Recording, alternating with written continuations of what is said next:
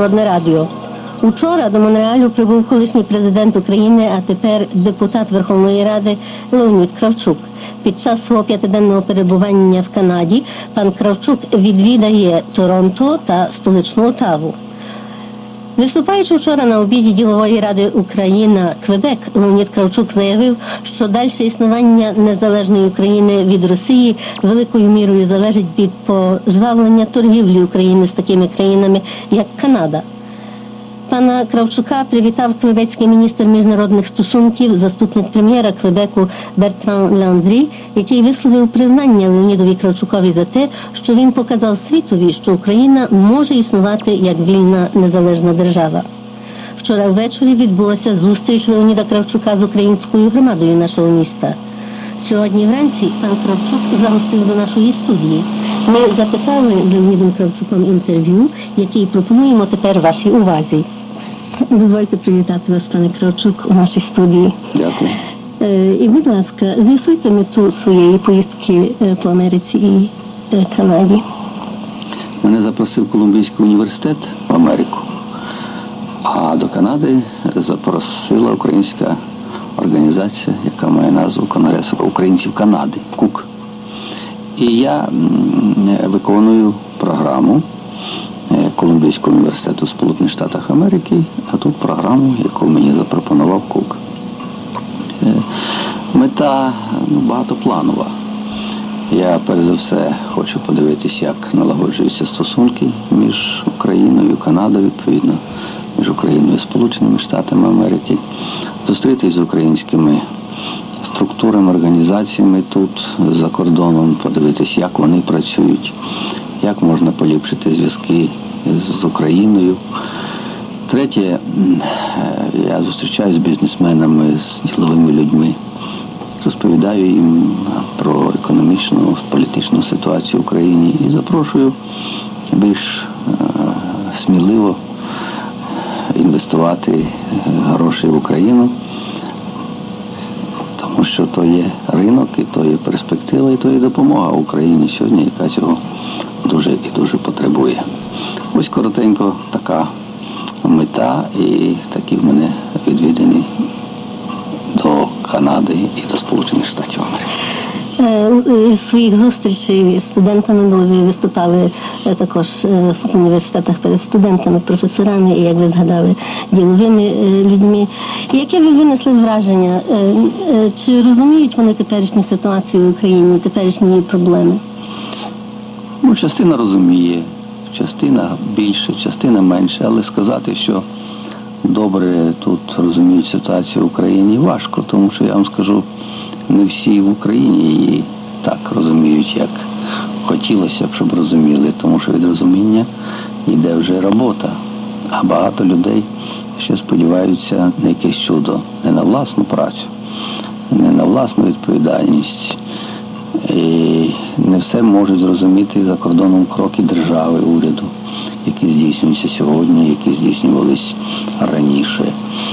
Тому я виніс того, що є велика потреба, щоб частіше тут е, відвідували і науковці, і лідери партії, і урядовці, і депутати, тільки щоб це не була якась стихія, а щоб тут була відповідна організація тому що пояснювати потрібно. А українці, які тут живуть, вони вже можуть, знаючи реальний стан справ, можуть відповідно впливати на урядові структури, теж роз'яснювати. Таким чином не можу сказати, що тут все розуміють, що діється в Україні. Хоч бажання таке є, і настрій у людей допомагати Україні.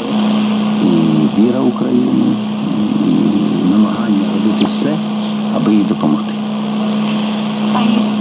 Нашої точки зору зараз е, найпекутіші проблеми, перед якими Україна стоїть? економічна криза, яка ще не переборена, вона загострюється в процесі проведення реформ, інфляція. Це речі, які поєднуються. Вони йдуть паралельно. Криза, інфляція завжди.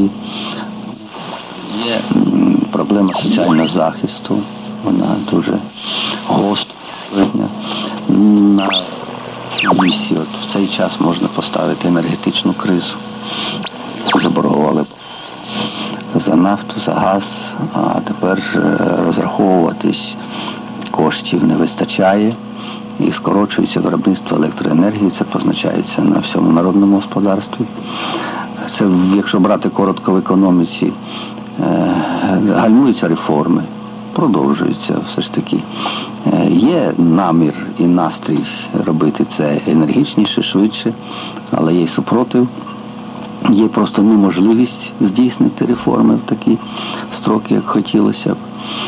А в політичному плані ще є суперечності, продовжуються верніше суперечності між політичними силами, політичними партіями, навіть в такому визначальному для нації питанні, як державність, як незалежність.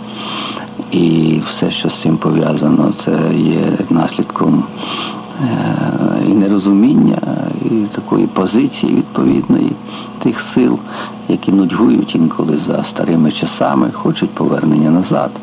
Тобто багато є проблем, які сьогодні в Україні є навіть загрозливими для її незалежності, і це потрібно всім знати і боротися проти цього. Це моє наступне питання, дещо пов'язане власне з цим. На своїй прес-конференції в Києві з нагоди створення об'єднання порозуміння ви заявили, що Україна в небезпеці. Що і хто їй зараз загрожує? Оце ж я назвав тільки що ці речі, е, які я перерахував, Так. вони є загрозою. Тому я так думаю, поки що будемо говорити не хто, а що. Ось це. Ага. Якщо говорити хто, то це ті сили, які не е, хочуть усувати рішуче оці е, економічні проблеми, або не вміють, або мають на увазі щось інше, або вичікують, то є вже хто. Якщо говорити про державність, то е, я можу сьогодні називати тих людей з лівого блоку, які вже е, виступають за повернення до Радянського Союзу, збирають підписи. Тобто це ліві сили, якщо можна так узагальнити, не торкаючись конкретно вже назви партій. Якщо говорити зовнішню ситуацію, то, то є проблема е, спокою навколо нас. От, те, що в Росії загострились проблеми пов'язані з Чечнею, от, і інші, вони також будуть позначатись на Україні в всіх її аспектах. Тому я бачу таких причин і таких загроз чимало, але є й позитивні е, рух вперед. Реформи, хоч повільно, але йдуть, народжуються е, підприємства, виробляється нова продукція, створюються спільні підприємства, йде реформа кредитної, банківської системи, йде приватизація, хоч важко, але йде Верховна Рада прийняла постанову про список підприємств, які не підлягають приватизації. Таким чином вже відкрита дорога до приватизації тих підприємств, які, яких в цьому списку немає, тобто всіх останніх. Ну, От, е, я не можу сказати, що нема руху вперед, тому що дехто думає, що от стоять, стоїть Україна на місці. Це не відповідає дійсності, вона йде вперед. Тільки е, наслідки і результати того руху поки що не є такими добрими, щоб вони торкалися всіх верств населення. Ось в чому проблема. Чи могли б уточнити, ви згадали, що ситуація в Чечні якоюсь мірою е, може відбитися на Україні. Е, е, Чи могли б уточнити це? Чи Могли, це? можу. Я переконаний в тому, що ми маємо навчитись жити з Росією як партнери, як рівноправні партнери. Е, Без цього нам буде важко. Україні буде важко будувати свою державу. І це має зрозуміти і Україна, і Росія. Дві сторони. Тому що Росія також не буде е, спокійно жити, якщо вона не зможе е, встановити добрі, партнерські, добросусідські стосунки з Україною. І тому для України є важливою, щоб в Росії був спокій, щоб там перемагала і розвивалася демократія, йшли реформи, не було конфліктів. Все те, чим більше спокійна і демократична Росія, тим кращі умови для будівництва незалежної України. Я це називаю свідомо, тому що в нас зв'язки з Росією, вони традиційні, вони сьогодні і на державному, на економічному, чисто на побутовому рівні. І змінити те враз, відвернутися або зайняти якусь конфронтаційну позицію по відношенню до Росії, то була помилка. І проблеми в Чечні вони пов'язані з тим, що йде в Росії наступ на демократію. Це не просто якийсь випадок, то є серйозна річ. І друге, в Росії на рівні Думи вже роздаються голоси про утворення якогось об'єднання, повернення до кордонів, обговорення питання про єдність Росії.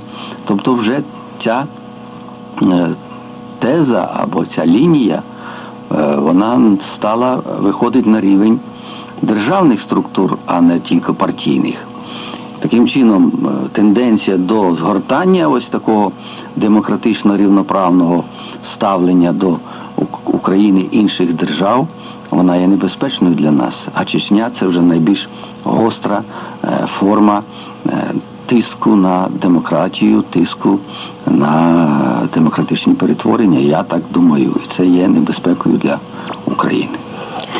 Чеченська національна координаційна рада Маслат звернулася до вас, до колишнього президента Сполучених Штатів Джиммі Картера та до казахського письменника Ольжеса Солейменова з проханням посередничати у намаганнях розв'язати цю конфліктну ситуацію в Чечні.